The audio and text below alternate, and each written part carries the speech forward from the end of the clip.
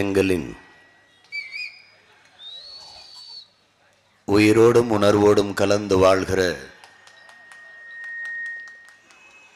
அன்பு சொந்தங்கள் அனைவருக்கும் வணக்கம்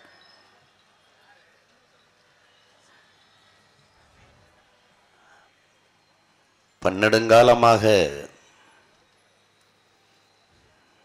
உணர்வை இழந்து உரிமைகளை இழந்து உயிரையும் இழந்து கொண்டிருக்கிற அடிமை தமிழ் தேசியனத்தின் பிள்ளைகள் நாங்கள்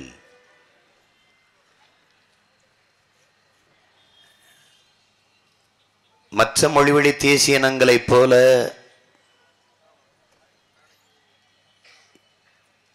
எமது இனமும் உரிமை பெற்று பெருமையோடு வாழ முடியாதா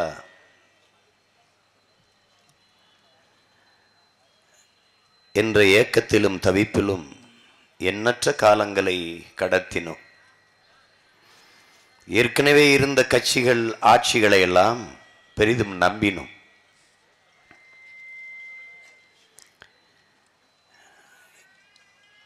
எல்லா உரிமைகளையும் இவர்கள் பறிவுடுத்துவிட்டு எங்களை பரிதவிக்கிவிட்ட சூழலில்தான் இனி இவர்களை நம்பி பயனில்லை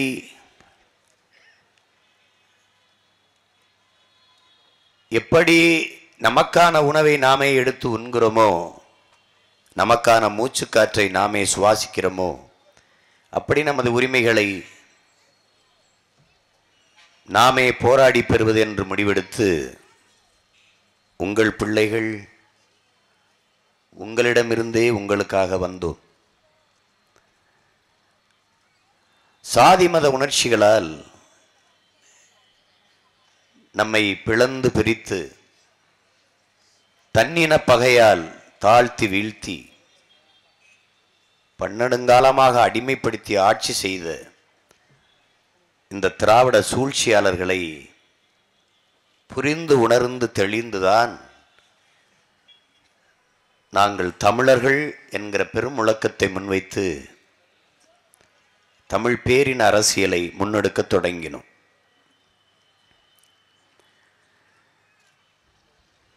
இந்த உணர்வு இந்த புரிதல் இந்த தெளிவு எங்களுக்கு எப்போது வந்தது எங்கள் கண்முன்னே பல லட்சக்கணக்கான எம் இனச்சொந்தங்களின் சாவு எங்களை உணர்த்தி உசிப்பேற்றியது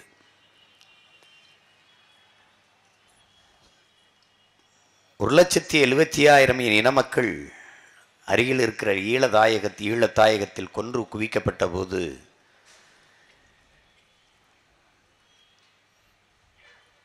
இந்திய பேரரசு அதை ஆட்சி செய்த காங்கிரஸ் அதற்கு கூட நின்ற திராவிட முன்னேற்ற கழகம் இந்த கட்சி ஆட்சிகள் எல்லாம் என் இனச்சாவை சகித்து கொண்டு எங்கள் மரணத்தையும் எங்கள் இரத்தத்தையும் எங்கள் உப்பாரி ஓலத்தையும் ரசிக்க தொடங்கிய போதுதான் நாங்கள் உணர்ந்து தெளிந்தோம் இவர்கள் நமக்கானவர்கள் அல்ல என்பதை பிணங்களுக்கு இடையே பிரசவிக்கப்பட்ட பிள்ளைகள்தான் நானும் இங்கே உட்கார்ந்திருக்கிற என் தம்பி விஜயராகவனும் என் முன்னால் திரண்டிருக்கிற இன உணர்வும் மாணவனும் கொண்ட தமிழ் சொந்தங்களும்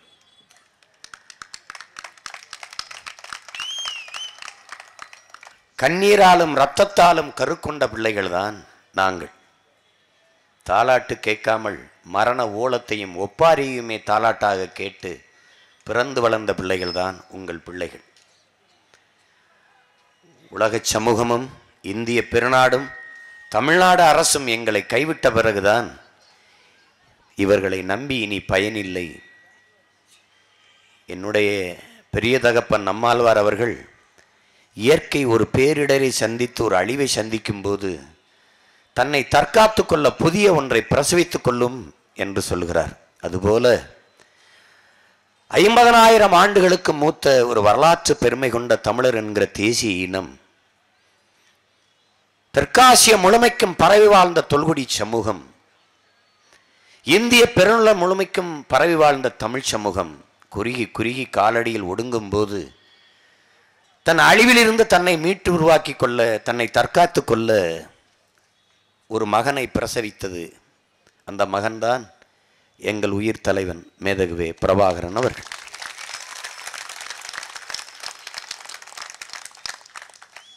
அவன் கொள்கை என்பதும் அவன் கனவு என்பதும் அவன் லட்சியம் என்பதும் அவனுக்கானதல்ல அவன் பிறந்த பெருமை மிக்க தமிழர் என்கிற தேசிய இனத்திற்கானது என் அன்பு மக்களே என் அருமை உடன் பிறந்தார்களே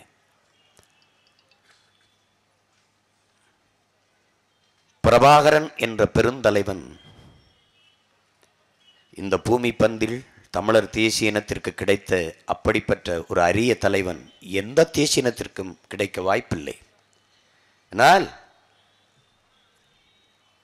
அந்த தலைவன் அவன் மூதாதையர்கள் பல ஆயிரம் ஆண்டுகளாக தூக்கி சுமந்து வந்த கனவை அவன் தூக்கி நின்றான் ஆதியில் என் அருமை பாட்டன் முப்பாட்டன் முருக பெருந்தகை வேலேந்தி பாய்ந்தான் அதன் பிறகு எங்கள் அருமை பாட்டன்கள் அருண்மொழி சோழனும் அவன் மகனான் அரசேந்திர சோழனையும் வாழைந்து பாய்ந்தார்கள் வழிய வழியே வந்த வீரத்தமிழ் மறவர்கள் வாழும் வேலுமேந்தி பாய்ந்தார்கள் அவர்களுடைய வழிவழியே வந்த மரத்தமிழ் மறவன் எங்கள் தலைவன் பிரபாகரன் துவக்கேந்தி பாய்ந்தான் துப்பாக்கி தூக்கி பாய்ந்தான்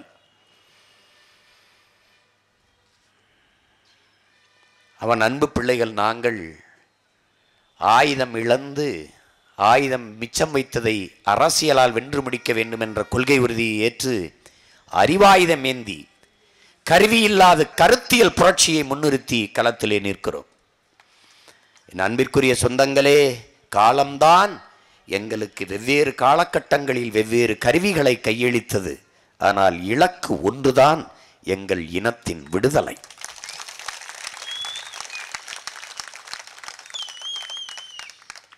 ஐம்பதனாயிரம் ஆண்டுகளுக்கு மூத்தவன் நான் உலகத்திற்கு அறிவை கடன் கொடுத்த ஒரு இனத்தின் மகன் நான் பைபிள் கிறிஸ்தவர்களுக்கானது குரான் இஸ்லாமிய மக்களுக்கானது பகவத்கீதை இந்துக்களுக்காகனது ஆக்கப்பட்டது ஆனால் உலகம் முழுமைக்கும் வாழ்கிற மனிதர்களுக்கு அல்ல உலக உயிர்களுக்கு பொதுமையாக வேதத்தை தந்தவன் எங்கள் மூதாதை வள்ளுவ பெருமகன் தான் அதை போலவே என் அன்பு சொந்தங்களே என் அருமை பெற்றோர்களே என் உடன் பிறந்தார்களே நாம் தமிழர் பிள்ளைகள் நாங்கள் முன்வைக்கிற அரசியல் என்பது தமிழர்களுக்கு மட்டுமானது அல்ல தமிழ்நாட்டில் வாழ்கிற மக்களுக்கு மட்டுமல்ல இந்திய பெருநிலத்தின் மக்களுக்கு மட்டுமல்ல உலக பொதுமைக்கான அரசியலை முன்வைக்கிறோம் உலக உயிர்களுக்கான அரசியலை முன்வைக்கிறோம் எனவேதான் நாங்கள் ஆக சிறந்தவர்கள் ஜூலியஸ் சீசர் சொல்லுகிறான் அடுத்தவன் உன் தகுதியை அறிவிக்க வேண்டும் என்று காத்திருக்காதே நீயே எழுந்து உன் தகுதியை பேரறிவிப்பு செய்ய என்கிறான் அதையே நானும் சொல்லுகிறேன் நாங்கள் உலகத்திலேயே தலை சிறந்த இனத்தின் மக்கள் புரட்சியாளர் அண்ணல் அம்பேத்கர் ஒருவன் அடிமையாக இருக்கிறான் என்பதை உணர்த்திவிடு பிறகு அவனை கிளர்ச்சி செய்து போராடுவான் என்கிறார் எட்டு ஆண்டுகளில் நாங்கள் உணர்த்தியது தமிழக வீதிகளில் புரட்சியும் கிளர்ச்சியுமாக வெடித்து கிளம்பி இருக்கிறது எங்களை வீழ்த்துவதென்பது வரலாற்றில் இனி சாத்தியமே கிடையாது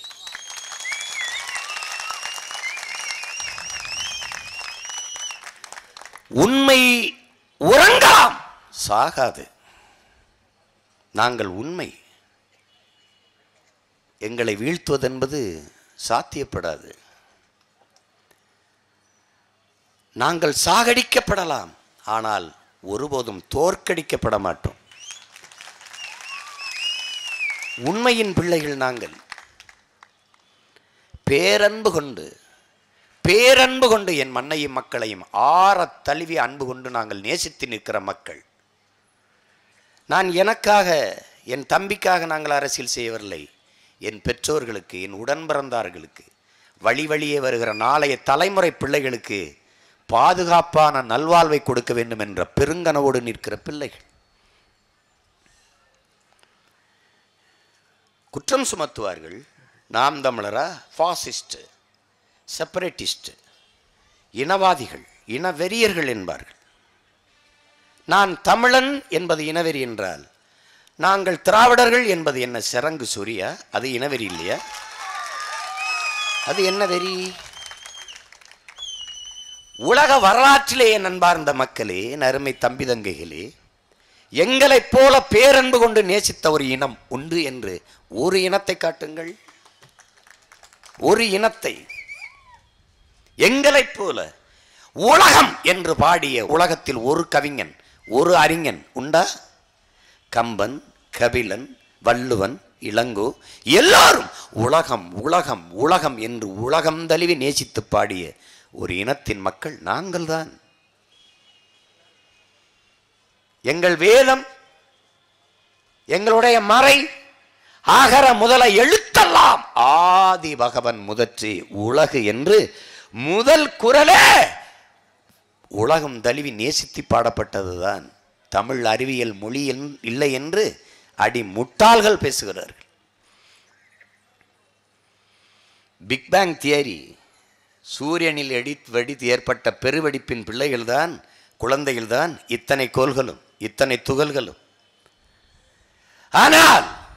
அதற்கு முன்பே என் தாத்தன் என் பாட்டன் எங்கள் வல்வ பெருமகன் உலகில் எல்லா மொழியும் அகர ஒளியில் தொடங்குவது போல உலகம் தொடங்கியது சூரியனிலிருந்து இருந்துதான் என்று பாடுகிறார் அதற்கு உண்மையான பொழிப்புரை அகர முதல எழுத்தெல்லாம் ஆதி பகவன் முதற்றே உலகு என்பதற்கு இதுதான் உண்மையான பொழிப்புரை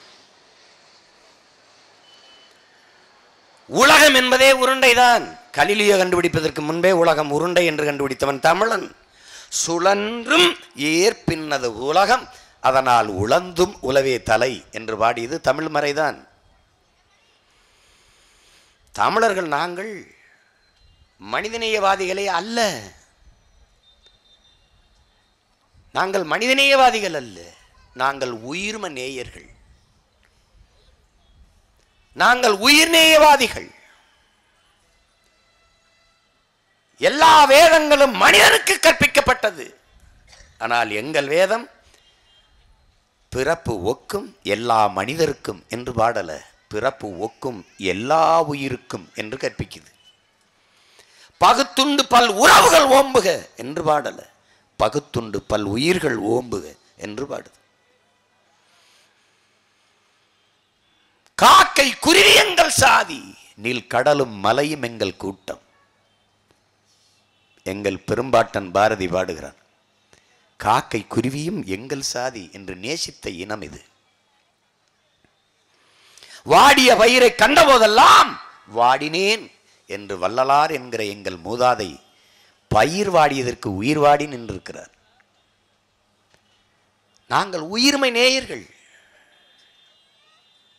தாதூன் பறவை பேதுரல் அஞ்சி மணி நா ஆர்த்த மான்வினை தேரன் அகனான் ஒரு பாடுது ஒரு தலைவன் தேரில் பயணம் செய்து கொண்டிருக்கிறார் தேரை அலங்கரிக்க மணிகள் தொங்கவிடப்பட்டிருக்கிறது அழகான மணிகள் அது ஜல் ஜல் என்று ஒளி எழுப்பிக் கொண்டே வருகிறது அந்த ஒலி காட்டுக்குள் தேர் நுழைகிற போது அந்த தலைவன் சொல்கிறான் தேரை நிறுத்து மணியின் சத்தத்தை நிறுத்து என்று காரணம் என்ன பூக்களில் வண்டுகள் குருவிகள் சிட்டுக்கள் தேனை உண்டு கொண்டிருக்கும் இந்த சத்தம் அதை அச்சுறுத்தி பறக்க வைத்து விடும் அதனால் அந்த மணியின் சத்தத்தை நிறுத்திவிடு என்கிறான் உலகத்தில் இப்படி ஒரு இன மக்கள் வாழ்ந்ததாக வரலாற்றிலே செய்தி கிடையாது ஆனாலும் நாங்கள் அன்பு மக்களே இனவாதிகள் நாங்கள் இன வெறியர்கள்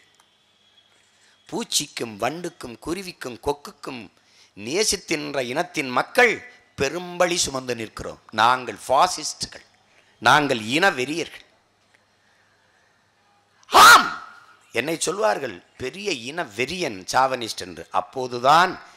எனக்குள்ளே ஒரு பெருமிதமும் திமிரும் ஏறும் பாருங்கள் நான் நல்ல தமிழ் தகப்பனுக்கும் தமிழ் தாய்க்கும் பிறந்தது உண்மை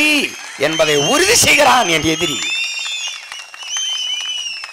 என்னை எதிரி அங்கீகரிக்கிறான் இவன் நல்ல ஆத்தாளுக்கு அப்பனுக்கும் பிறந்திருக்கிறான் என்று என்னை அங்கீகரிக்கிறான் நான் சமரசம் இல்லாது சண்டையிடுகிறேன் என்பதை அவன் உறுதி செய்கிறான் வந்தவன் போனவனிடத்தில் நாட்டை கொடுத்து விட்டு மண்டியிட மான தமிழச்சி மாறிலே பால் குடித்த எவனும் இனி தயாராக இல்லை இது என் நாடு இது என் நிலம் இது என் மக்கள் இது என் மொழி என் கலை என் இலக்கியம் என் நிலம் என் வளம் எப்படி காப்பது எப்படி மீட்பது என்று எனக்குத்தான் தெரியும் இனி நாங்கள் ஒருபோதும் ஏமாற தயாராக இல்லை ஏமாறுகிறவன் இருக்கிறவரை ஏமாற்றுகிறவன் இருப்பான் என்பது இனி ஏமாறவும் நாங்கள் தயாராக இல்லை ஏமாற்றுபவனை விடவும் தயாராக இல்லை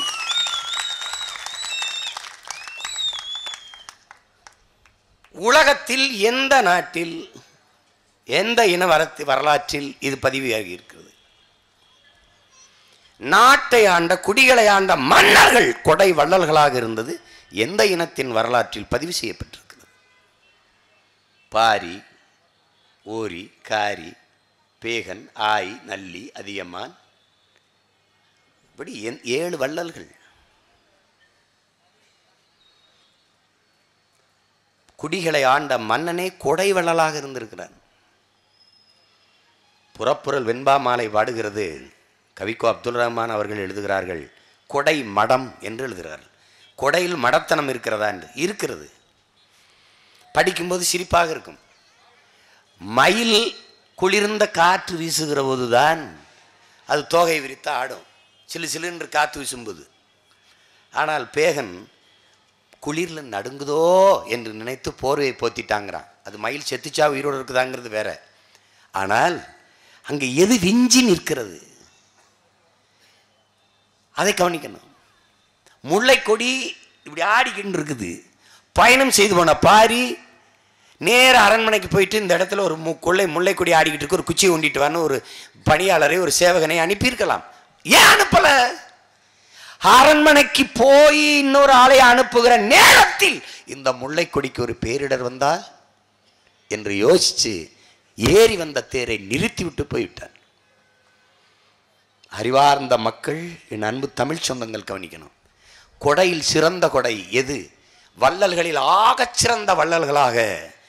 கடையல் வள்ளல்களிலே பாரியும் பேகனையும் தான் தேர்வு செய்கிறார்கள் ஏன் என்று நீங்கள் யோசிக்கணும் கேட்டு கொடுப்பது கொடைதான் ஆனால் ஆகச் சிறந்தது அல்ல நான் பசிக்குது எனக்கு சாப்பிட ஏதாவது கொடுங்கள் என்று கேட்கிற போது என் தன்மானத்தை நான் இழந்து விடுகிறேன் அதனால் அது சிறந்த கொடை இல்லை கேட்காமலே கொடுப்பது கொடைதான் ஆனால் அதுவும் ஆகச்சிறந்த கொடை அல்ல அப்ப எல்லாம் ஆகச்சிறந்த கொடை கேட்கும் திறனற்ற உயிர்களுக்கு கொடுப்பதுதான் ஆகச்சிறந்த கொடை என்று புறப்புரல் வெண்பாமாலை பதிவு செய்கிறது முல்லை கொடி பாரி எனக்கு ஒரு குச்சியை உண்டு என்று கேட்கவில்லை மயில் எனக்கு ஒரு போர்வையை கொடு என்று பேகனிடம் கேட்கவில்லை ஆனால் கேட்கும் திறனற்ற உயிர்களுக்கு கொடுத்தவன் உலக வரலாற்றிலே தமிழ் மூதாதைகள் என்பதை அறிவார்ந்த எனது தம்பி தங்குகள் புரிந்து கொள்ளும் அதனால்தான் பாரியும் பேகனும் ஆகச் சிறந்த கொடை வள்ளல்களாக போற்றப்படுகிறார்கள் தமிழர்கள்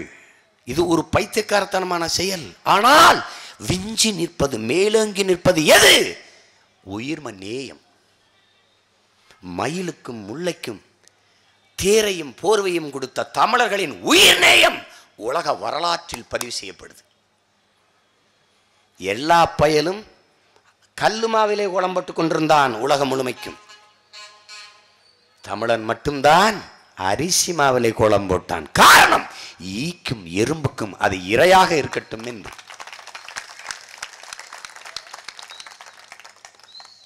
மாண்புமிக்க மக்கள் அவர்களைப் போல ஆகச் சிறந்தவர்கள் உலக வரலாற்றிலே கிடையாது உலக வரலாற்றிலே கிடையாது இது நான் என் அந்த என் நான் இனத்தில் பிறந்து விட்டேன் என்பதற்காக சத்தியமாக பெருமை பேசவில்லை நான் பேசுவதுதான் சத்தியம் உலகம் பூரா பெரும்பெரும் அறிஞர்கள்லாம் பேசிட்டு இருக்கிறான் ஆனால் இன்னைக்கு நிலைமை என்ன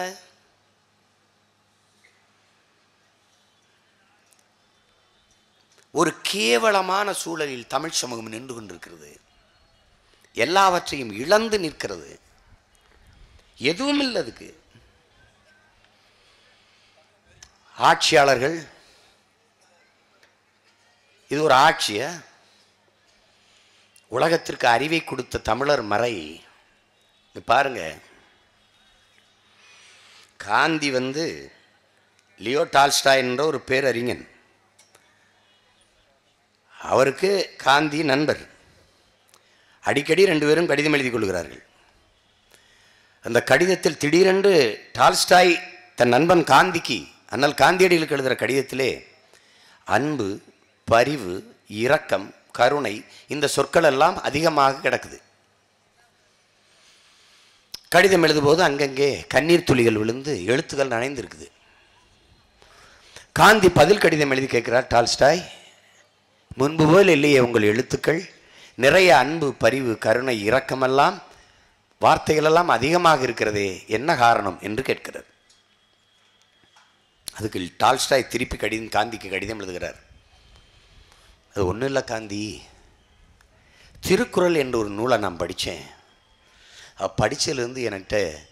அதன் பாதிப்பிலிருந்து நான் மீளவே முடியல அதனால தான் இந்த கடிதத்தில் இப்படியெல்லாம் வார்த்தைகள் வந்து விழுது என்று எழுதுகிறேன் அதுக்கு காந்தி கேட்குறார் திருக்குறளா அது எங்கே படித்த எந்த எங்கேருந்து வந்ததுன்னு ஓ நாட்டில் தென் தென்கு கிழக்கில் தமிழ்நாட்டில் திருவள்ளுவர்னு ஒருத்தர் நான் புத்தகத்தாக நான் படித்தேன் என்று சொல்லுவேன் காந்தி அதன் பிறகு காந்தி அவசர அவசரமாக திருக்குறளை வர வச்சு இந்தி மொழிபெயர்ப்பில் இருக்கிற திருக்குறளை படிக்கிறார் படிச்சுட்டு காந்தி சொல்கிறார் இன்னொரு பிறப்பு என்று எனக்கு இருக்குமானால் நான் தமிழனாக பிறக்கணும் எது இருக்கு பாருங்க அது அது காரணம் சொல்றாரு காரணம்னு சொல்கிறார் என்ன இந்த திருக்குறள் எழுதப்பட்ட அதன் தாய்மொழியிலேயே ஒரு தடவை நாம் படிக்கணும் அவன் இன்னொரு பிறப்படுத்து படிக்கணும்னு நினைச்சான் காந்தி இந்த பிறவியில் பிறந்த நீங்கள் எல்லாம் படிக்கலையேங்கிறதான் என்னுடைய பிரச்சனை இதுதான் பிரச்சனை நம்ம ஐயா மறைமலை அடிகள் மறைமலை அடிகள் தூய தமிழ் பெருமகன் நமது ஐயா மறைமலை அடிகள் சொல்கிறார் என் அன்பு மக்களே தமிழனின் வேதமே திருக்குறள் தாண்டான்னு நீங்கள் கண்ட கண்டதெல்லாம் ஊரான் சொன்னது உலகம் சொன்னதெல்லாம் பிடிச்சி தொங்கிட்டு கிடக்குறீங்க ஆல்பர்ட் சுவிசர் என்ற ஒரு அறிஞன் மருத்துவத்தில் பொருளாதாரத்தில் இசையில் முனைவர் பட்டம் பெற்ற ஒரு பேர் அறிஞன் அவன் ஃப்ரான்ஸில் போய் காடுகளில் மக்களுக்கு சேவை செய்ய போகிறான் பழங்குடி மக்களுக்கு யாரோ ஒருத்தன் உள்ளே புகுந்துட்டான் வேற்று நாட்டுக்காரன்ட்டு வெள்ளையான்ட்டு கைது பண்ணி உள்ளே போட்டுறாங்க சிறைக்குள்ளே இருக்கிறான் புத்தகங்களை கொண்டு வந்து தர சொல்கிறான் படிக்கிறதுக்கு அவன் நண்பன் ஒரு புத்தகத்தை தர்றான் அந்த புத்தகத்தை ஆல்பர்ட் சுவிசர் படிக்கிறான் படிச்சுட்டு அவன் சொல்கிறான் வாழ்க்கையில் இப்படி ஒரு வாழ்வியல் நெறிய தத்துவத்தை உலகத்தில் நான் இதுவரை படித்ததே இல்லையடான் மூன்று துறைகளில் முனைவர் பட்டம் பெற்ற ஆல்பர்ட் சுவிசர் சொல்கிறான் திருக்குறள் போன்ற ஒரு நூலை நாம் படித்ததே இல்லையே அப்படின்னு அந்த தமிழன் மறை சொல்லுது குடிதழி கோலோச்சு மாநில மன்னன் அடிதழி நிற்கும் உலகு முறை செய்து காப்பாற்றும் மன்னவன் மக்களுக்கு இறையென்று வைக்கப்படும் உருபசியும் ஓவா பிணியும் சிறுவகையும் சேராது இயல்வது நாடு அறிவுடைமை அஞ்சாமை அறிவு ஊக்கம் ஈகை இந்நான்கும் எஞ்சாமை வேந்தற்கு அழகு துணிவுடைமை தூங்காமை கல்வி இவை மூன்றும் நீங்கா நிலன் ஆள்பவர்க்கு மணிநீரும் மண்ணும் மலையும் அணிநிலர் காடும் உடையது அரண் எப்படி பாடுது இதை ஒரே ஒரு தடவை ஒரே ஒரு தடவை எழுதி வச்சு கூட ஐயா எடப்பாடியும் ஸ்டாலினையும் பேசிட்டு சொல்லு நாங்கள் போயிடுறோம் நாங்கள் நாங்கள் போய் சொல்ல சொல்லு பார்ப்போம் மணி நீரும் மண்ணும் மலையும் அணிநிழற் காடும் உடையது அரண் இதுக்கு பொருள் என்ன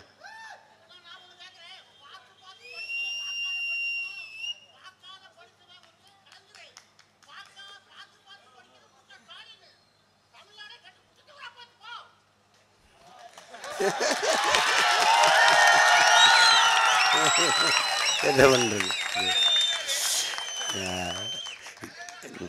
உங்களால் தான் கெட்டு போச்சு நீங்கள் உதயசூரியனுக்கு ரெட்டாலைக்கு போட்டவங்க நீங்கள் தானே நீங்கள் தானே இப்போ தமிழர்கள்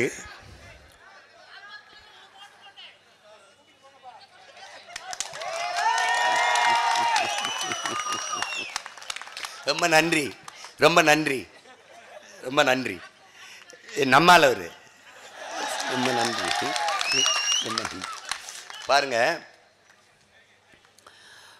உலகத்திற்கு எப்படி கற்பிச்சிருக்காரு பாருங்க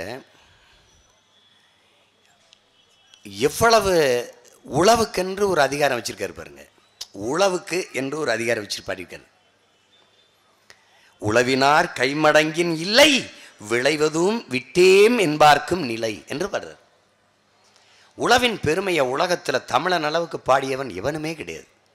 அதில் நம்ம த பாட்டன் அளவுக்கு பாடினவன் உலகத்திலே கிடையாது உழவினார் கைமடங்கின் இல்லை விளைவதும் விட்டேம் என்பார்க்கும் நிலை அப்படின்னா என்ன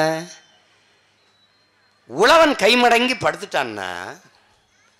எதுவுமே வேண்டாம் என்று துறவரம் கொண்டவன் கூட வாழ முடியாதுங்கிறார் இதை விட உழவின் உழவின் பெருமையை உலகத்தில் விரும்பட முடியாது உழுதுண்டு வாழ்வாரை வாழ்வார் மற்றவரெல்லாம் தொழுதுண்டு பின் செல்பவர் சுழன்றும் ஏற்பின்னது உலகம் அதனால் உழந்தும் உழவே தலை உழுவார் உலகிற்கு ஆணி அத்தாற்றாது எழுவாரை எல்லாம் பொறுத்து உழுவவன் உலகத்திற்கே உலகத்திற்கே அச்சானிங்கிறான் அந்த உழவனை காப்பாற்றணும்னு நினைக்கிற உங்கள் பிள்ளைகள் தான் உழவனையை சின்னமாக கொண்டுட்டு ஓடி வந்துக்கிட்டு இருக்கோம் நீங்கள் விளங்கணும் இதெல்லாம் எதுக்கு பேச வேண்டியது இருக்குன்னா தமிழர்களுக்கு வந்து என் அன்பிற்குரிய சொந்தங்களே தம்பி தங்கைகளே திட்டமிட்டு மொழி பெருமை இனப்பெருமை ஊட்டப்படாமல் சாதி பெருமை மதப்பெருமை ஊட்டப்பட்டிருக்கு சாதி பெருமை இனப்பெருமை வரும்போது பிளந்து பிரிஞ்சிடறான் இந்த மொழி பெருமை இனப்பெருமை வரும்போது இனப்பற்று வந்துடும் இனப்பெருமை கொள்ளாதவன் இனப்பற்று கொள்ள மாட்டான் இனப்பற்று கொள்ளாதவன் ஒன்றிணைய மாட்டான் சாதி மதம் பார்த்து பிரிஞ்சு நிற்பான் பல சல்லி பயல்கள் பேசி கொண்டு தர்றாங்க பாருங்க எப்படி இருக்கு எச்சராஜா பேசுகிறதையெல்லாம் ஒரு ஒரு கருத்தாக எடுத்துக்கிட்டு கைதட்டிட்டு கிடக்கிறதுக்கு ஒரு கூட்டம் இருக்க அப்போ என்ன பண்ண முடியும் நீ யார் நான் யார் எங்கேருந்து வந்தால் நான் எங்கே இருக்கேன் என்ன இருக்குது இது உயர்ந்த சாதி தாழ்ந்த சாதி இதெல்லாம் எங்கிருந்து வருது உழைப்பிலிருந்து தான் பிறக்குது எப்படி பிறக்குது மீனவன் நான் விவசாயி இவன் குயவர் அவர் மீனவனுக்கு குயவர் விட்டு போனால் கட்டி கொடுக்க முடியுது கட்டி கொடுக்க முடியாது ஏன் அந்த பிள்ளைக்கு மீனை எப்படி காய வைக்கிறதுன்னு தெரியாது மீனை எப்படி பதப்பத்துக்குன்னு தெரியாது ஏன் பிள்ளை அவனுக்கு கட்டி கொடுக்க முடியாது அவனுக்கு பானை எப்படி தட்டுறது காய வைக்கிறதுன்னு தெரியாது அப்போ குடி சார்ந்து என்ன தொழில் சார்ந்து பொண்ணு கொடுத்து பொண்ணு எடுத்துக்கிறான் இது ஒரு சமூகமாக பிறக்குது இதுதான் ஜாதி உருவாகுது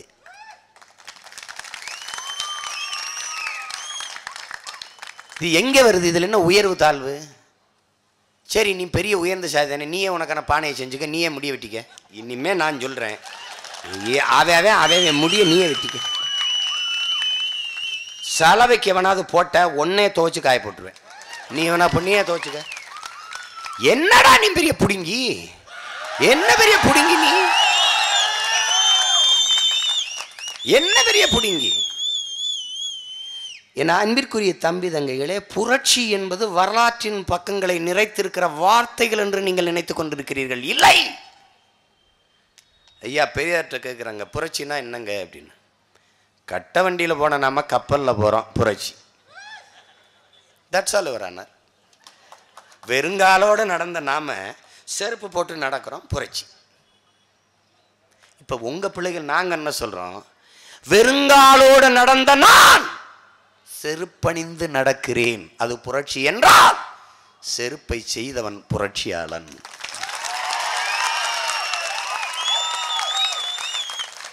தாடியும் முடியுமாக பரதேசியாக திரிந்தேன் அதை செதுக்கி என்னை அழகுபடுத்திய செயல் புரட்சி என்றால் செய்தவன் புரட்சியாளன் ஆடைகளில் அழுக்கு ஒட்டி அழுக்கு துணி திரிந்தேன் அதை வெளுத்து தூய்மைப்படுத்திய செயல் புரட்சி என்றால் செய்தவன் புரட்சியாளன் நடக்க பாவையின்றி திரிந்தேன் கடும் பாறைகளை உடைத்து வெம்பாடுபட்டு நடக்க பாதை செய்த செயல் புரட்சி என்றால் செய்து கொடுத்தவன் புரட்சியாளர் சாக்கடை நாறுகிறது சாக்கடை நாறுகிறது மூக்கை பிடித்து கொண்டு கடந்து சென்றேன் அதை சுத்தம் செய்த செயல் புரட்சி என்றால் மூழ்கி சுத்தம் செய்த செய்தவன் உலகில் புரட்சியாளன் என் அன்பிற்குரிய மக்களே நாள்தோறும் எத்தனை புரட்சியாளர்களை நீங்கள் கடந்து செல்கிறீர்கள் நீங்கள் அவர்களை மதிக்க வேண்டாம் குறைந்தபட்சம் மிதிக்காமலாவது இருங்கள் என்பதுதான் உங்கள் பிள்ளைகள் எங்களின் அன்போனா வேண்டுகோள் பேசுவார்கள் நாதியற்ற உனக்கு சாதி ஒரு கேடாடா நீ யார் நீ முதல்ல பெரிய நீயே ஒரு பிக்காலி பைய நீயே ஒரு அடிமை நாய் அடிமையில் என்னடா மூத்த அடிமை பின்னடிமை பெருமைக்குரிய அடிமை என்ன நீ தமிழனே தாழ்த்தப்பட்டவன் தமிழனே அடிமை இந்திய அடிமை உனக்கு என்ன இருக்கு என்னோட வாதிடு என்ன இருக்கு உன் தாய்மொழி ஐம்பதனாயிரம் ஆண்டுகளுக்கு மூத்த உன் தாய்மொழியை ஐநூறு ஆண்டுகளை கூட தொடாத இந்தியை தாய்மொழியாக கொண்டவன் பாராளுமன்றத்துக்குள்ள பேச அங்கீகாரம் பெற முடியலை அடிமையே நீ சொல்லு பார்ப்போம் ஏ தம்பித்துறை துணை சபாநாயகர் தமிழில் பேசும்போது கொக்கரிச்சானடா இந்திக்காரன் நாற்பது பாராளுமன்ற உறுப்பினர் நான் குடுறா என்ன பாடுபடுது வர்றா பாராளுமன்றம் நீ கொடுத்து பாரு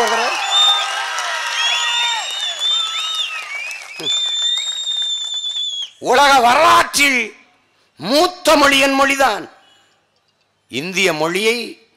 இந்தியாவில் எந்த மொழி ஆட்சி மொழியாக வர வேண்டும் என்று இந்தியா விடுதலை பெற்ற போது கருத்து வரும்போது இந்திய மொழிகளில் தொன்மையான மொழிதான் ஆட்சி மொழியாக வர வேண்டும் என்ற கருத்து பதிவிட்ட போது இந்திய மொழிகளிலே மிக மிக தொன்மையான மொழி தமிழ்தான்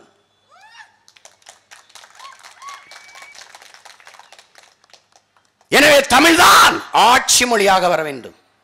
இதை எந்த வரலாற்று ஆசிரியனும் எந்த தொல்பொருள் ஆய்வாளனும் மறுக்க முடியாது அந்த தமிழ்மொழி என் தாய்மொழி என்பதில் நான் பெருமை அடைகிறேன் என்று பேசிய பெருந்தகை இப்ப கைதட்டாத இப்ப சொல்லு என் தாத்தா காகிதே மில்லத் என்பதை நீ கவனத்தில் வச்சுக்கணும் நேரு என்ன சாஹிபு நீங்கள் என்ன உருது ஆட்சி மொழியாக கேட்பீங்கன்னு பார்த்தா தமிழை கேட்குறீங்கண்ணா அவன் உருது பேசுறவன் தான் முஸ்லீம் நினச்சிக்கிட்டு இருந்தான் அவன் நேரு நம்ம தாத்தா இஸ்லாம் எங்கள் வழி இன்பத் தமிழே என் மொழி என்றார் பாருங்க செத்தாண்டா இந்திய பாராளுமன்றத்திற்குள்ள நான் அல்லா என்று அழைப்பதற்கு முன்பே அம்மா என்று அழைத்தவன் என்று பேசினார் இந்த அயோக்கிய நாய்கள் சொல்வார்கள் அவரை பாகிஸ்தானுக்கு போய் சொல்லி ஏய் ஓட ஓட ஒரு நாள் கட்டக்கம் வச்சு அடிச்சு விரட்டல நீ பார்த்து நீங்க போயிடலாம் நீ என்ன எழுதுறான் கற்ற கற்று எழுதுறான் என்ன எழுதுறான் வளர்றான் ஆன்டி சோசியல் எலிமெண்ட்டு யார் நானாடா உண்டாடே நான் வளர்றேனா தடுக்காமல் வேடிக்கை பார்த்துக்கிறிய இதை விட என்னடா தடுப்பிய எந்த தொலைக்காட்சியிலையும் காட்டுறதில்ல எந்த பத்திரிகையிலையும் போடுறதில்ல எல்லாம் பண்ணுறதில்ல நீங்கள் என்னென்னமோ பண்ணி தானே பார்க்குறீங்க அந்த டிக்டாக்குங்கிற செயலியை நிறுத்துங்க ஏன் பூரா பிள்ளைகளை என் பேச்சு எடுத்து பேசுது பயந்துட்டேன் அவனுக்கு பிரச்சனை என்ன தெரியுமில்ல இப்போ இந்தியாவுக்கு பல பிரச்சனை இருக்குது அதில் பெரிய பிரச்சனையே நான் தான் அவனுக்கு எதுவுமே அவனுக்கு பிரச்சனை கிடையாது ஐயோ இவனை விட்டுறாத அவன் டெவலப் ஆகுறான் அவன் வளர்றான் இருபத்தி மூணாம் தேதிக்கு மேலே பல பேர் தற்கொலை பண்ணுவான் இப்போ நீ வேணா பாட்டேரு ஐயோ வளர்கிறார்களே மம்மி அப்படிங்கிற கதையில் கத்தி தீப்பான் நெருப்பை குப்பையை போட்டு மூடவே முடியாது ராஜா பற்றி எரிஞ்சு நாங்கள் வருவோம் நீ இந்த வரி நீ என்ன வேணாலும் செய்ய நான் சத்தியத்தின் மகன் என்னை வீழ்த்துவது என்பது சரித்திரத்திலே வாய்ப்பில்லை எனக்கே என்னை எப்போ பிடிச்சு தெரியுமா நான் இந்த வேலையை செய்யவே வரலையே நான் ஒரு சாதாரண ஒரு கேனப்பைய என்னையை பார்த்ததுக்கு இவ்வளவு பயப்படுறாங்க முரசொலியில் தலையங்கமே நான் தான் அன்னைக்கு ஏ இது என்னடா பிரச்சனை என்னடா உங்கள் பிரச்சனை என்னை வாய்ச்சொல்லில் வீரர் அப்போ உங்கள் செ உங்கள் செயல் தலைவர் புறமை செயலாடா என்னடா டேய் என்னக்கடா உங்கள் பிரச்சனை ஏண்டா ஐம்பது வருஷமாக கச்சத்தீவை மீட்க போராடுவோங்கிறீங்களடா அதை விடவாடா ஒரு கேவலம் இருக்குது வாய்ச்சொல் இருக்குது எனக்கிட்ட நீங்கள் ஒரு என்கிட்ட வாயை கொடுக்கு வேறு எதாவது புண்ணாக்கிட்டு போகாத நான் சொல்கிறத கேட்டுக்கேன் ஏதோ என் சொந்தக்காரன் புறம் அந்த கட்சியில் இருக்கிறனால மன்னிச்சு விட்டு பேசாமல் கடந்து போயிட்டுருக்கிறேன் இது தேவையில்லாமல் என்னை நோண்டாத ஒத்தைக்கு ஒத்த நேருக்கு நேரு நில்லு அது என்ன அயோத்திதாசரை தெரியுமா ரெட்டமலை சீனிவாசன் தெரியுமாண்ணா அவன் எழுதுறான் ஆராஜாவை பண்ண ஆராஜாவுக்கு தானே திமுகலே தெரியும் ரெட்டமலை சீனிவாசன் அயோத்தியாசர அவரை தலைவராகிட்டு போ அவரை தலைவராக்கிட டே ஓன் தலைவரை என்கிட்ட பேச சொல்லு எங்கள் அண்ணன் ஆராஜா படிப்பர் அவன் அறிவானவர் அவருக்கு தெரியும் இரட்டமலை சீனிவாசன் யார் அயோத்தியாசன் அயோத்தியாசர் யார் என்று எங்களுக்கு தெரியும்னா ஒரே ஒரு தடவை அயோத்தியாச பண்டிதருக்கு மாலையிட்ட ஒரு காட்சியை நீங்கள் திமுகக்காரன் காட்டுறா டே காட்டுறா நீ காட்டுறா டேய் உங்களை விட் மிச்ச சொச்சம் இல்லாமல் ஒழிச்சிட்டு தாண்டா நான் போவேன் நீங்கள் நினச்சிக்கிறீங்க எங்கள் அண்ணன் எனக்கு எனக்கு என்ன தெரியுமா எனக்கு என்ன தெரியுமா எங்கள் அண்ணன் வந்து அந்த பக்கம் இருக்கார் யார் எங்கள் அண்ணன் குளத்தூர் மணி ஆனால் பந்து எனக்கு போடுவார் தம்பிக்கு தம்பி அடிச்சு விட்றா அப்படின்ட்டு எப்படி தெரியுமா அவர் சொல்கிறாரு கடைசி ஆயுதம் நமக்கு ஸ்டாலின் தான் அப்படின்னா நமக்கு என்ன தோணுது இந்த போர் ரொம்ப நாள் நடக்காது இந்த சண்டை ரொம்ப நாள் நடக்காது ஏன்னா ஆயுதம் கடைசி ஆயிடுச்சு அவர்களை ஒத்துக்கொண்டார்கள் அப்புறம் கொஞ்சம் நஞ்சம் இருக்கிற திராவிட கொள்கைகளை காப்பாற்ற நமக்கு இருக்கிற கடைசி வாய்ப்பு திமுக தான் அவர்களை ஒத்துக்கொண்டார்கள் கொஞ்சம் தான் திராவிட கொள்கையே இருக்கு என்ன கொள்கை பெரியார் அண்ணா கிருஷ்ணர் படத்தை போட்டு ஓட்டு கேட்குற கொள்கை ஏதாடே டேய் உங்கள் கொள்கை உங்கள் கொள்கையில் குப்பையை போட்டு மூட என்ன ஒரு கொள்கை என்னோட மோதுறதுக்கு ஒரு தகுதியை வச்சுக்கிட்டு வா என்னோட தர்க்கம் வா வா நீ ஏன் துறைமுருகன் அனுப்ப மாட்டேங்கிற பொன்முடி அனுப்ப மாட்டேங்க ஏன் எங்கள் அண்ணன் ஆராசாவை அனுப்பணுன்ற உட்காருங்க ஏன் அனுப்பணுன்ற இவங்க பாருங்க எழுதுறத பார்த்தீங்கன்னா அதை எப்படி சொல்கிறார் திண்ணையில் உட்கார்ந்து ஸ்டாலின் பேசுகிறார் முதலமைச்சர் ஆனால் உட்கார்வார் உட்கார்லையே ராஜா கரும்பு தோட்டத்துக்குள்ள தாரோட போட்டு நடந்து போனார் ராஜா அருந்ததியர் வீட்டில் தேநீர் அருந்தினார் அருந்ததியர் வீட்டில் போட்ட தேநீரை அருந்தினாரா ராஜா அப்ப நீ சாதி பார்த்தா வீட்டுக்குள்ள நுழையிறியா ராஜா அப்படிதான் நுழையிறீல அது ஏன் ஆராஜாட்ட பேச சொல்ற உன் கட்சியில் இருக்கிறவனுக்கு அவன் ஒருத்தருக்கு தான்டா தகுதி இருக்குன்னு நினைக்கிற தான் கொடுறா கட்சியை நீ ஆராஜாட்ட கொடுறா திமுகவை கொடு என்ன நீ கற்று எழுதுற கற்று எழுதுன நீ சொல்றா நல்லா ஆத்தாள் கப்பனுக்கு பிறந்தவன் என்னோட வாதிடுன்னு சொல்றா வாடா என்னோட வாதிடுறா வா நீ நான் அயோத்திதாசர் ரட்டமலை சீனிவாசன் நீயும் பேசு நானும் பேசுறேன் பாறையன் என்று யாராவது சொன்னால் நான் தான் என்று எழுந்து நில் எந்த சொல் உன்னை இழி சொல்லாக கருதப்படுகிறதோ அந்த சொல்லை எழிச்சு சொல்லாக மாற்று என்கிறான் என் தாத்தன் நட்டமலை சீனிவாசன் எழுந்து சொல்றா அப்படிங்கிறான் ஆமா பறையன் நான் தான் பறையன் என்னடா என்னடா சொல்றா ஒரு தடவை பார்ப்போம் பொது மேடலை ஓட்டு கேட்குற மேடலை அரசியல் மேடலை பேசுகிறேன் அம்பேத்கரை ஒரு தடவை ரெட்டமணி சீனிவாசன் ஒரு தடவை அயோத்தியாச பண்டிதர் ஒரு தடவை முத்துராமலிங்கத்தர் ஒரு தடவை காமராஜர் ஒரு தடவை அழகுமுத்துக்குன் ஒரு தடவை சுந்தரலிங்கத்தர் ஒரு தடவை வேலுநாச்சர் ஒரு தடவை பேசிடலாம் பார்ப்போம் லூசு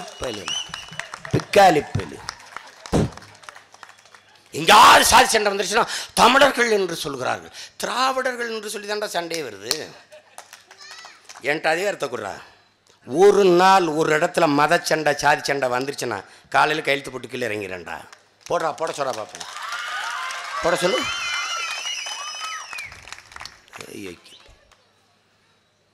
எழுதி வச்சு பார்த்து படிக்கும்போது பல நூறு பிள்ளைகளை செய்கிற ஒருத்தனை வச்சுக்கிட்டு அவன் என்ன தெரியுமா ஹீரோவாக காமெடி ஆக்குறாங்களாம் காமெடினா ஹீரோ ஆக்குறாங்களாம் ஒரு உலக கொடுமை இவங்க இப்போ தானே வர்ற சண்டைக்கு இனி தினம் உனக்கு எனக்கு தான் சண்டை என்னை நீ வென்று காட்டிட்டு பார்ப்போம் வண்டி வண்டியாக வச்சுருக்கேன் இறக்கி விட்டான்னு வச்சுக்க ஒன்றுக்கும் பதில் இருக்காது ஒன்ட்ட நீ நினச்சிக்கிட்டு இருக்க நீ என்ன என்ன எழுத்து முரசொலியில் தலையங்கம் வாய்ப்பேச்சு வீரர் உங்காலும் வாழ்வீச்சு வீரரா சரி வர சொல்லு ரெண்டு பேரும் வாழ்வீச்சு பார்ப்போம் இல்லை கம்பு சுற்றி பார்ப்போம் இல்லை கராத்ததையும் போட்டு பார்ப்போம் வர சொல்கிறா யார் ஸ்டாலினா உதயநிதி ஸ்டாலினா யார் வர போகிறது டா பிக்காளிகளா எத்தனை காலத்துக்குடா என் தமிழ் சமூகத்தை ஏமாற்றி கஞ்சி குடிச்சிட்டு போவீங்க திருட்டு கம்னாட்டிகளா எத்தனை காலத்துக்கு இப்படி பண்ணிட்டு போவீங்க ஆ பதநீர் ஆ பதநீர் இனிப்பாக இருக்கிறதே சர்க்கரை போட்டீர்களா இப்படி ஒரு சயின்டிஸ்ட் எங்கேயாவது உலகத்தில் பார்த்துருக்கீங்களடா டேய் பதனி இனிப்பா பதனி இனிப்பா தான்டா இருக்கு பரதேசிகளா இது கூட தெரியாத ஒருத்தரை பிடிச்சி வச்சுக்கிட்டு தொங்கிக்கிட்டு அலையிறீங்களடா ஏ அந்த கூட்டத்திலே ஒரு அறிஞர் இருக்காங்க ஆ ராஜான்ட்டு அவர் படிப்பார் சிந்திப்பார் படிப்பாளி வேறு சிந்தனையாளன் வேறு சரி அவர்கிட்ட கொடுத்துரு நாட்டை நான் வேணா எங்கள் அண்ணனை எதுக்காம விட்டுறேன் ஒரு கொடு கொடுப்பா என்னோட அவர் என்னை எழுதுறான் ஆ ராஜாவிட்ட பேசி பாருங்கள் அவருக்கு தெரியும்னு எனக்கும் தெரியும் உனக்கு தெரியுமாங்கிறத பிரச்சனைப்போம் நாளைக்கு ஒரு கட்டுரை எழுதுவாங்க பாருங்க எப்படி பேசுகிறார் பார்த்தீர்களா அப்படின்ட்டு இனிமேல் நீ தலையங்கமே நான் தான் நீ தினம் நீ இதுதான் எழுதி ஆகுது நீ ஒன்றும் பண்ண முடியாது முரசொலி எந்த பத்திரிக்கையும் எழுதலைன்னு நினச்சேன் முரசொலியும் எழுத ஆரம்பிச்சிட்டுது அவர் ஒரு ஏதோ ஒரு கூட்டத்தில் பேசியிருக்காரு எப்போ பேசியிருக்காரு விவசாயி ஒரு நாள் நாட்டை ஆளுவான் யார் நம்மால் விவசாயி நாட்டை ஆளுகிற போது நான் முழுமையாக ஆதரிப்பேன் அதை வரவேற்பேன் அப்படின்னு ஸ்டாலினு எனக்கு தாண்டா ஓட்டு கட்டிருக்காரு டே லூசு இவைகளை மாதிரி ஒரு காமெடி கொஸ்டி உலக வரலாற்றில் கிடையாது என்ன தேவை பண்ணிக்கிட்டு காசை கொள்ளையடிச்சு வச்சுட்டாங்க அதை கொடுத்து வண்டி ஓட்டியிருக்காங்க பொங்கலூர் பழனிசாமிகிட்ட கேட்போம் சரி நீங்கள் வந்து எம்எல்ஏ ஆகி என்ன செய்ய போறீங்க வெளிநடப்பு செய்வீங்க வேறு எதாவது செய்வீங்களா எட ஜெயலலிதா இருக்கும்போது விடுங்க எடப்பாடி பழனிசாமி முதலமைச்சராக இருக்கும்போது ஒரு தடவையாவது சட்டசபையில் முழு நேரமும் ஸ்டாலின் உட்கார்ந்துருந்த ஒரு காட்சி காட்டுது ஜெயலலிதா விடுங்க அவங்க ஒரு பெ சரி பெரிய மனுஷி ஒரு ஆளுமையான லீடு தலைவர் அப்படின்னா கூட சொல்லலாம் எடப்பாடி அதுவே ஒரு புள்ளப்பூச்சி அதை அதை சமாளிக்க முடியல அவரே ஒரு எடுபடி அவரை சமாளிக்க முடியல ஆகையினாலே அந்த வகையிலே எங்களை வந்து தாகால் சபையை விட்டு வெளியேறி வந்துட்டு எதாவது பேட்டி கொடுத்துட்டு போயிடுறோம் எழுதி கொடுத்துருவாங்க பிறகு சபைக்குள்ளே ஒரு துண்டு சீட்டை வச்சுக்கிட்டு படிச்சுக்கிட்டு என்ன காரணத்துக்கு வெளியில் வந்தீங்கன்னா தெரியல எழுதி படிச்சுக்கிட்டு இருக்க நீ என்ன என்ன கட்சி நடத்திக்கிட்டு இந்த பொங்கலூர் பழனிசாமி போனாலும் பாவம் அவரும் வெளியில் நடப்பு தான் ஸ்டாலின் பின்னாடி இப்படி ஓரத்தில் மங்களாக நிற்பார் என் தம்பி உள்ளே அனுப்புங்க அவன் எல்லாம் வெளி நடப்பு நாங்கள் உள்ளே இருப்போம் நீங்கள் ஒரு தடவை என்னை கேட்குறான் நாலு தொகுதியில் வென்று என்ன தெரியுமா நாட்டே புரட்டி போட்டுருவோண்டா நீ ஒரு தடவை கொடுறா நாலு தடவை கொடுத்துப்பாரு ஒரு தடவை கொடுத்து பாரு ஒரு புலி மறவன் ஐநூறு சிங்கள வீரனுக்கு சமமானவன்கிறார் எங்கள் தலைவர் ஒரு ஒரு நாம் தமிழர் கட்சி உறுப்பினன் மொத்த உறுப்பினருக்கும் சமமானான் எங்களை ஒரு பத்து ஐம்பது பேர் அனுப்பிவிடுங்க யாராவது ஒருத்தர் சபையை நடத்திட்டா அப்புறம் பாருங்கள் எந்திரிக்கும் போது ஆ அப்புறம் அப்படி பாருங்க அவன் வெளியேறுவான் சரி இப்போ என்ன சொல்ல வரீங்க ஆக நியாயமாரே நீங்கள் இப்போ என்ன சொல்ல வரீங்க நியாயமாரே ஓ சரி இப்போ என்ன சொல்கிறீங்க ஒரு வய உள்ளே இருக்க முடியாது ஃப்ராடு ஃப்ராடு பசங்க ஃப்ராடு புரோக்கர் புரோக்கர்கள் தலைவர்கள் அவங்க இவனுக்கு தலைவனாக இருக்கிற தகுதி இருக்க கல்வி தனியார் அறிவை வளர்க்கிற கல்வியை விற்றுட்டான் உயிரை காக்கிற மருத்துவத்தை விற்றுட்டான் தூய குடிநீர் உலக உயிர்களின் உயிர் தேவையை வியாபார பொருளாக்கி வித்துட்டான் போக்குவரத்து தனியார் சாலை போடுதல் பராமரித்தல் தனியார் மின் உற்பத்தி விநியோகம் தனியார் எல்லாமே தனியார் அரசு என்ன நடத்தும் சாராய கடை மட்டும் நடத்தும் இப்படி உலக வரலாற்றில் ஒரு அரசை நீங்கள் எங்கேயாவது பார்த்துருக்கீங்களா எங்கேயாவது பார்த்துருக்கீங்களா அதை நியாயப்படுத்தி பேசுவார்கள் இவர்களை நீங்கள் ஒழிக்கணும் மாற்றணும்னா எல்லாருமே சொல்கிறாங்க தொலைக்காட்சி விவாதம் அல்லது தெருவில் கடையில் எங்கே சந்தித்தாலும் எங்கே பார்த்தாலும் லஞ்சம்ப்பா எங்கே பார்த்தாலும் ஊழம்ப்பா எங்கே பார்த்தாலும் ஊழல் எங்கே பார்த்தாலும் லஞ்சம் ஒரே ஒரு கேள்வி தான் நான் உங்ககிட்ட கேட்க நினைக்கிறேன் எல்லாருமே ஊழல் லஞ்சத்தை வெறுக்கிறமே அப்போ யார் கொடுக்குறா யார் தான் வாங்குறா பதில் இருக்கா இல்லை பற்றியில்ல அமைதியாக இருக்க பற்றியில் பிரச்சனை அங்கே தான் இருக்குது இது எங்கிருந்து பிறக்குதுன்னா பிறருக்கு கிடைக்காத ஒன்று தனக்கு கிடைக்கணுங்கிற எண்ணத்தில் பிறக்குது தாயின் கருவறையில் இருந்து கோயில் கருவறை வர லஞ்சம் இருக்கு என் மனைவி கற்பமாக இருக்கும்போது மருத்துவமனையில் சேர்த்து விட்டு டாக்டர் கையை பிடிச்சி எப்படியாவது காப்பாற்றிருங்க எவ்வளவு செலவானாலும் பரவாயில்லேன்னு சொல்கிறேன் பாருங்க அந்த வார்த்தை லஞ்சமாகுது ஓ எவ்வளவு செலவானாலும் பரவாயில்லையா அப்போ காசு வச்சுருக்கேன் அருடாங்கிறேன் கோயில் கருவறைக்கு போய் வரிசையாக நின்று காத்திருந்து கும்பிடாம ஐநூறுரூவா கொடுத்தா சீக்கிரம் கும்பிட்டு போயிடலாம்னு நினச்சி ஐநூறுரூவா கொடுக்க போகிறேன்ல அங்கே பிறக்குது லஞ்சம் அப்போ இதில் என்ன இருக்குது இந்த எண்ணத்தை ஒழிக்கணும் இந்த எண்ணத்தை ஒழிக்கணும் ஒழுங்குபடுத்தணும் இப்போ என் தம்பி விஜயராவன் கூட சிங்கப்பூரை பற்றி பேசினார்னா லீக்வானி என்கிற ஒரு புரட்சியாளன் தான் கண்ட கனவு தேசத்தை படைத்தான் பன்றிகளின் தொழுவங்கிறது விடுதலை அடைவதற்கு முன்பு பன்னி மேய்ந்து கொண்டிருந்தது தெருப்புறம் சாக்கடை ஓடிக்கொண்டிருந்தது பன்றிகள் தெருப்புறம் பழைய சிங்கப்பூர் படத்தை எடுத்து பாருங்க தெருப்புறம் பன்றி அழுக்கு தீண்டப்படாத நகரம் ஆசிய கண்டத்தில்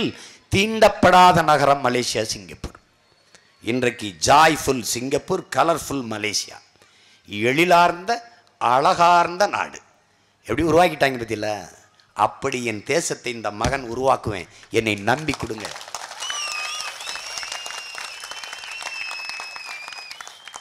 உங்களுக்கு எப்பயுமே இந்த உள்ளூர் மாடு விளவாதுங்கிற மாதிரி நாங்கள் வெள்ளையாக இல்லாதது எங்கள் பிரச்சனை இல்லை எங்கள் பரம்பரை பிரச்சனை மூக்கு முகரையெல்லாம் காட்டா மாதிரி இருக்கிறதுக்கு நான் இல்லை என் முன்னோர்களின் எச்சம் இது கமலஹாசன் வெள்ளையாக இருக்கிறங்கிறதுக்காக அது அவன் நிறமும் என் நிறமும் ஒன்றா இருக்க முடியாது அதை அதை வந்து நீங்கள் புரிஞ்சுக்கிறணும் வெள்ளையாக இருக்கிறவன் பொய் சொல்ல மாட்டான் நீங்கள் நினச்சிங்கன்னா உங்கள் பைத்தியகார தரத்தரா ஒன்று வர பண்ண முடியாது ஐயோ இந்த கூட்டத்தை வச்சுக்கிட்டு என்ன செய்யறதுன்னு எங்களுக்கும் தெரியல என்ன ஆனாலும் ஒரு நம்பிக்கை இந்த பாராளுமன்ற தேர்தலில் நிறைய பேர் எங்களுக்கு ஓட்டு போட்டதாக சொல்கிறாங்க அது அவங்களுக்கு வேட்டு போட்டதாக இருக்குது அவங்க தினம் என்னை திட்டுறாங்க என்ன காரணம் என்னென்னா நிறைய பேர் அவனுக்கு ஓட்டு போட்டாங்கங்க அவன் வளர்கிறாங்க அப்படின்னு நான் வளருவதுங்கிறது வரலாற்று தேவைடா நான் வளர்ந்து ஆகணும் நான் வென்று ஆகணும் இந்த நாடு என்கிட்ட வந்தாகணும் ஏன்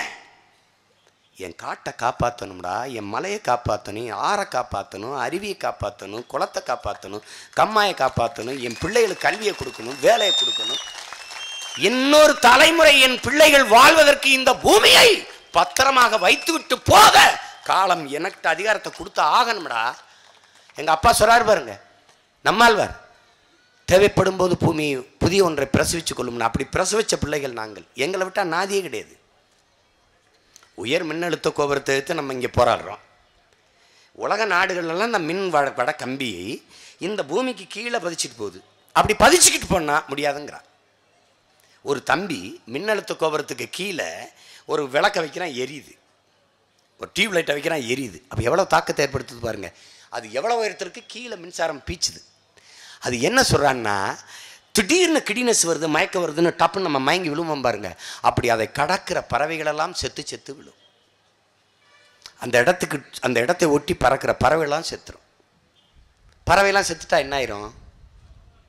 உனக்கு உனக்கு ஒன்றும் பிரச்சனை இல்லை நீ நினச்சிட்டு இருப்ப நீ செத்துருவ கொஞ்ச நாளில் ஏன் பறவை செத்துட்டா உயிர் பெருக்க இருக்காது பல்லுயிர் பெருக்க இருக்காது சுற்றுச்சூழல் இருக்காது சூழியல் இருக்காது பறவை தான்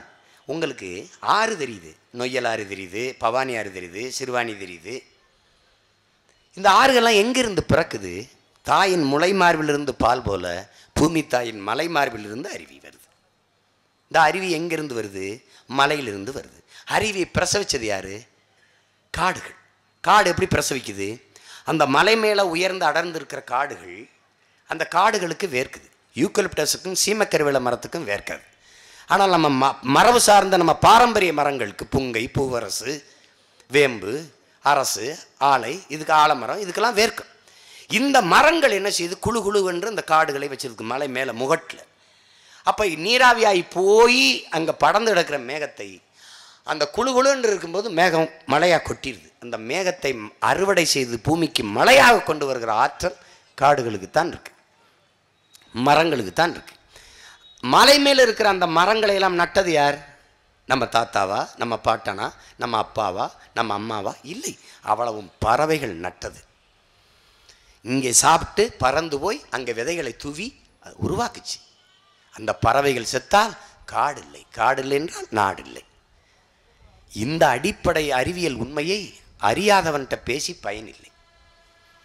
நீ ஓட்டு போடு ரெட்டலைக்கு போடு நீ உதயசூரியனுக்கு போடு எங்களெல்லாம் தூக்கி சுடுகாட்டில் போடுது அதை பற்றி ஒரு பிரச்சனை எங்களுக்கு இல்லை ஆனால் ஒரு நாள் தண்ணி இல்லாமல் சோறு இல்லாமல் தெருவில் பிச்சை எடுத்துக்கிட்டு பானையை வச்சுக்கிட்டு சண்டை போடும்போது நாங்கள் கைதட்டி அப்படியே ரசித்து கொண்டு இருப்போம் அப்போ என்னை கூப்பிடக்கூடாது நல்ல நல்ல நீ நல்ல மனுஷனுக்கு பிறந்தீன்னா என்னை கூப்பிடக்கூடாது சீமான் இது கேட்க மாட்டீங்களா கொண்டே போயிருவேன் எச்சரிச்சுக்க எச்சரிச்சுக்க அந்த நிலை வராமல் தப்பிச்சுக்க அதுக்கு என்ன வாய்ப்பு இந்த கைகட்டி நிற்கிறான்ல ரெட்டை கரும்போட கட்டி நிற்கிறான் விவசாயி அவனுக்கு ஒத்த ஓட்டை போட்டு படுத்துக்க மீதி நான் பார்த்துக்கிறேன்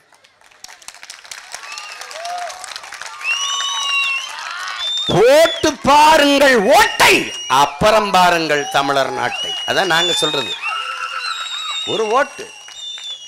போட்டாச்சு போட்டாச்சு வடிவேலியம் பங்காளி அவருக்கு சொல்லுவார் பார்த்திவன் கையெழுத்து பண்ணணும் போட்டாச்சு போட்டாச்சு அப்படின்னு போட்டாச்சு இருபத்தஞ்சி முப்பது வருஷமாக ரெட்டலைக்கு போட்டாச்சு உதயசூரியனுக்கு போட்டாச்சு நீ போட்டு என்ன ஆகுது பொங்கலூர் பழனிசாமி இருந்தால் அந்த எண்ணிக்கையில் கூட ஒன்று கூடும் வெளிநடப்பு நடக்கும் இப்படித்தான் எடப்பாடி பண்ணால் இருக்கிற கொடுமையான ஆட்சி கூட ஒரு ஆறு மாதம் நீட்டிக்கும் அவ்வளோதான் தட்ஸ் ஆல் ஆனர் நாங்கள் வென்றால் உலக வரலாற்றில் அரசியல் புரட்சி நடக்கும்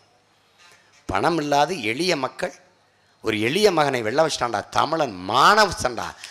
தன்மானம் மிக்க வரும் அக்சாண்டா புதிய அரசியலின் தொடக்கத்தை புரட்சிகர அரசியலின் தொடக்கத்தை தமிழர்கள் எழுதிவிட்டார்கள் என்ற வரலாற்று பதிவு வரும் அதை செய்யறதுக்கு ஏதாவது பாருங்க சும்மா இன்னும் காலங்காலமாக ஒரு தம்பி ஒரு எனக்கு ஒரு வேண்டிய ஒருத்தர் டிஎஸ்பி போயிருக்காரு என் தம்பி எனக்கு பேசுகிறாரு தம்பி நமக்கு நிறைய பேர் ஓட்டு போட்டிருக்காங்கடா ஆனால் ஒரு பொம்பளை வந்துச்சு கண்ணு தெரியாத பொம்பளை எழுபத்தஞ்சி வயசு இருக்கும் ஒரு அம்மா என்னை உதவ சொல்லிச்சு கூட்டிகிட்டு போயினேன் உள்ளே போய் எப்பா எதுக்குமா போடணுன்னே ரெட்டாலைக்கு போடுப்பான்னுச்சு போட்டேன் போட்டேம்மா அந்த ஸ்க்ரீனில் பாருமா இந்த பாருமா ரெட்டாலை தெரியுது பாருமானே கால் அந்த செருப்பை கழட்டிட்டா தம்பி தொட்டு கும்பிடுதுரா இந்த கிளவி மாதிரி ஆளுகளை வச்சுக்கிட்டு என்னடா செய்ய முடியும்னு என் தம்பி அது செத்துரும்னே சீக்கிரம் சரியாயிரும்னா அது என்னோட ஓட்டு கேட்க வந்த பிள்ளைய என்னை முடியாது நான் சாகிற வரை ரெட்டலை தான் நான் சாகிற வரை உதயசூரியன் தான் பின்னாடி எப்போ சாவிங்க ஐயான்னு கேட்டேன் அவர்த்தன் அந்த கதையை செத்து தொலைங்கடா கர்மம் பிடிச்சவங்களா எம்பிட்டு காலத்துக்கு உதயசூரியனுக்கு நீ ஓட்டு போடு கருணாநிதி குடும்ப வெளிச்சத்தில் வாழும் நீ இருட்டில் கிடப்ப ரெட்டலைக்கு போடு பெருமை பேசாது என்கிட்ட பேசுறது கட்சி ஆற்று இருந்தானே தம்பி ஹெடப்பாட்டு இருந்தானே திணறன்ட்டு இருந்தானே நமக்கு இலை எங்கே இருக்கோ அங்கே நம்ம இருக்க வேண்டியதான் இந்த மரத்தில் நிறைய இலை இருக்குது வந்து இங்கே இந்த அறிவுள்ள ஒருத்தன் தமிழில் பேசுகிற பேச்சாது முட்டாள்களா சின்னத்தை பார்த்து வாக்கு செலுத்துகிற முறையை ஒழிங்க நல்ல எண்ணத்தை பார்த்து வாக்கு செலுத்துகிறது கற்றுக்கொள்ளுங்க போவாங்க நாங்கள் ஏன் வீதி வீதிக்கு வந்து இல்லை நான் வந்து வண்டியில் ஏறி கும்பிடுங்களேன் நான் வரமாட்டேன்ட்டேன் என் தம்பிகிட்ட இனமானத்துக்கு போராட வந்தேன் தன்மானத்தை இழந்துட்டுலாம் என்னால் போராட முடியாது அதெல்லாம் நிற்க முடியாது அப்படிலாம் என்ன கோயிலுக்கு நேர்ந்து விட்ட மாதிரி நேர்ந்தெல்லாம் விடலை என்னை தேடு தேடு அந்த கடையில் போனால் சுக்கா பக்காவாக இருக்கும்னு போய் சாப்பிட தெரியுது வக்கனையா அங்கே நல்லியை நல்லா வறுத்து கொடுப்பான்னு தெரியுது அங்கே பிரியாணி சூப்பராக இருக்கும்னு தெரியுது இந்த கடைக்கு போனால் நல்ல புடவை கிடைக்கும் இங்கே போனால் நல்ல வேட்டி கிடைக்கும் இந்த கோயிலுக்கு போனால் நல்ல வரம் கிடைக்கும் எல்லாம் தேடி தேடி போக தெரியுதுல்ல உனக்கான தலைவனை தேடு என்ன வேலை உனக்கு அதை விட வேலை என்ன வேலை என்ன தேடு உன் எதிர்காலத்தை தீர்மானிக்கிற தலைவனை தேடு நல்ல தத்துவத்தை தேடு எவன் பேசுகிற அரசியல் ஆகச் சிறந்தது என்று தேடு அதுக்கு தானே அறிவு எண்பத்தி மூணு விழுக்காடு கல்வியறி பெற்ற மாநிலம் எதுக்கு படித்த சிந்தி சிந்திச்சு பாரு தேர்தல் என்பது வாக்கவிக்கிற சந்தையா வருங்கால வாழ்க்கை தீர்மானிக்கிற சிந்தை இல்லையா தேடுங்கள் தேடுங்களே நண்பிற்குரிய மக்களே நறுமை சொந்தங்களே அப்படி தேடுங்கள் தேடும்போது நேராக நீங்கள் நாம் தமிழர் கட்சியைத்தான் தேடி வருவீர்கள் உங்கள் சின்னம் விவசாயி சின்னம்தான் என்பது உங்களுக்கு தெரியும் அப்படி அறிவார்ந்த என் சொந்தங்கள் என் அன்பு தம்பி தங்கைகள் யாரோடவும் கூட்டு வைக்காது உங்களை நம்பிதானே நிற்கிறோம் கமலஹாசன் தனியாக நிற்கிறார் அது இந்திய குடிய தமிழ் குடியரசு கட்சிங்கிற அண்ணன் சேக்கு தமிழரசோட கூட்டணி வைத்திருக்கிறார் தினகரன் தனியாக நிற்கிறாரா எஸ்டிபிஐ கட்சியோட கூட்டணி வைத்திருக்கிறார் யாரோடும் சேராது தனித்து போட்டியிடுகிற ஒரே கட்சி நாம் தமிழர் கட்சி மட்டும்தான் யாரை நம்பி இவர்களுக்கு மக்களின் மீது நம்பிக்கை இல்லை நாங்கள் எங்கள் பெற்றோர்கள் எங்கள் உடன் பிறந்தார்கள் மீது நம்பிக்கை வைத்து நீண்ட காலமாக தனித்து நிற்கிறோம் வருகிற சட்டமன்ற தேர்தலிலும் தனித்து நிற்போம் இருநூத்தி முப்பத்திலாயும் தனித்து போட்டியிடுவோம் பாராளுமன்ற தேர்தலில் ஐம்பதுக்கு ஐம்பது இருபது தொகுதி நாற்பது தொகுதியில் இருபது கொடுத்தேன் என்று நினைக்க வேண்டாம் சட்டமன்ற தொகுதியில் நூற்றி பதினேழு தொகுதி கொடுப்பேன் ஆண்களுக்கு நூற்றி பதினேழு கோடி தொகுதி கொடுப்பேன் நடக்கும் நான் நடத்தி காட்டுவேன் மற்றவர்களுக்கெல்லாம் சொல் என்பது வெறும் சொல் எங்களுக்கு செயல்தான் சொல் எங்கள் தலைவன் எங்களுக்கு கற்பிச்சிருக்கிறான் செயலே சிறந்த சொல் என்றிருக்கிறான் சொல்லுக்கு முன் செயல் என்கிறான் புரட்சியாளன் செய்வரா எங்கள் தலைவன் செயலே சிறந்த சொல் என்கிறான் அன்பிற்குரிய மக்கள் அறிவார்ந்த என் சொந்தங்கள் உழவர்குடி வாழாது உலகம் வாழ முடியாது அந்த விவசாயியை வாழ வைப்பதற்கு இருக்கிற கடைசி வாய்ப்பு உங்கள் பிள்ளைகள் எங்களுக்கு வெற்றியை அதிகாரத்தை அணைப்பதுதான் எங்களுக்கு கொடுங்கள் யார் யாரையோ நம்பிவிட்டீர்கள் உங்கள் பிள்ளைகள் எங்களை நம்புங்கள் என்னை எடுத்துக்கொள்ளுங்கள் நான் யாருடைய மகன் இவர் யாருடைய மகன் ஐயா ராம்தாஸ் மகனா ஐயா கருணாநிதி மகனா ஜி கே வசன் மகனா சசிகலா சொந்தக்காரரா யார் நான் எங்கள் ஆத்தால் அப்பனை காட்டினா தான் உங்களுக்கு தெரியும் ஓ இவங்களாடா அப்படின்னு வாரிசுகள் நாங்கள் பராரிகள் அன்றாடங்காட்சிகள் தினக்கூலிகளின் பிள்ளைகள் உழைக்கும் மக்களின் வாரிசுகள் ஒத்தையால் உலகத்தை மிரட்டி பயங்காட்டி வச்சுருக்கேன் பாருங்கள் இவங்க சரியான ஜனநாயகவாதிகள்னால் நான் பேசுகிறத ஏன் தொலைக்காட்சியில் காட்ட மாட்டேங்கிறீங்க நான் போட்டியிடுறேங்கிறத ஏன் பத்திரிகையில் போட மாட்டேங்கிறீங்க அம்பிட்டு பயம் அரண்டு கிடக்கிறார் என் பாஸ்போர்ட்டை பறித்து வைத்துக்கொண்டு ஏன் தரமாட்டேங்கிறார்கள் அமெரிக்கா என்னை உள்ளே நுழைய விடக்கூடாங்குது கனடா என்னை உள்ளே வராத ஓடுங்குது காரணம் என்ன காரணம் என்ன இந்த அந்த மனுஷன்தான் பார்த்த வேலை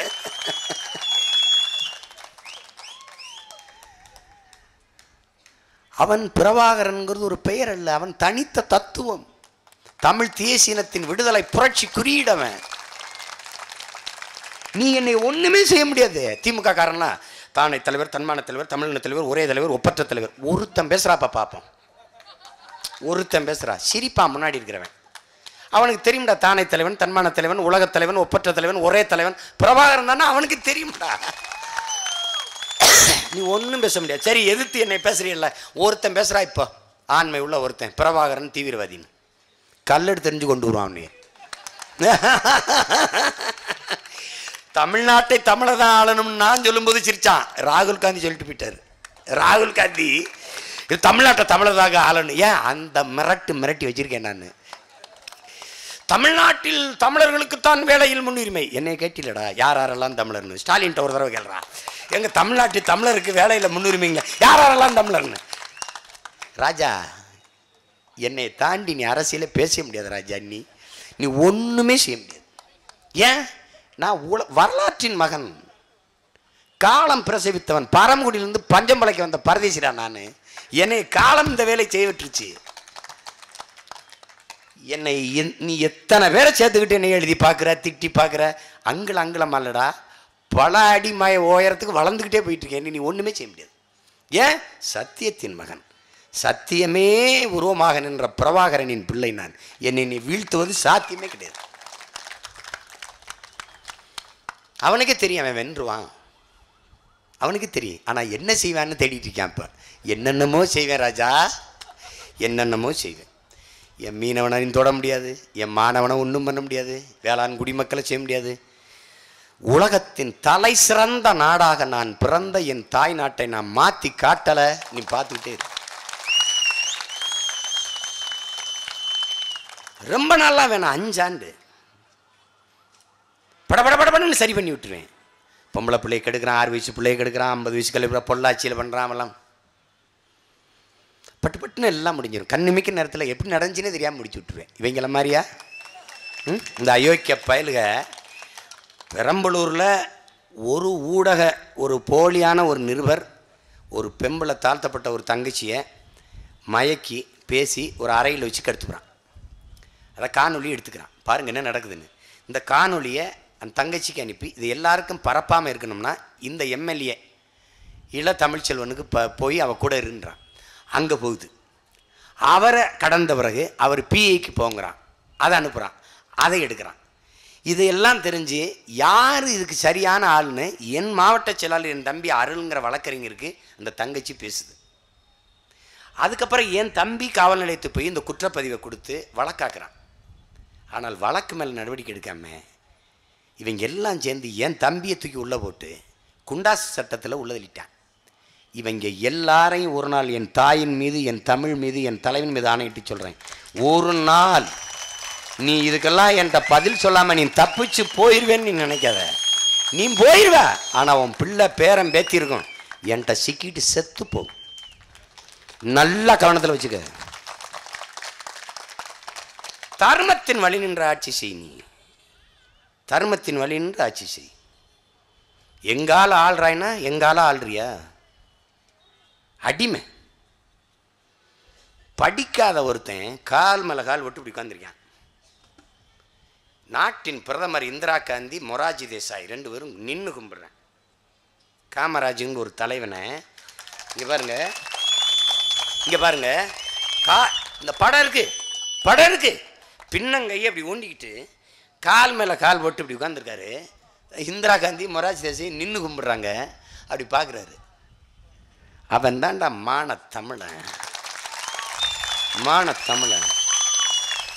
இதை நான் போஸ்ட் அடித்து ஓட்டினேங்க காங்கிரஸ்கார கம்நாட்டிகள் கிழிச்சு விட்டாங்க இவங்க எல்லாம் காங்கிரஸா இவங்களுக்கு என்ன தன்மானம் இருக்குது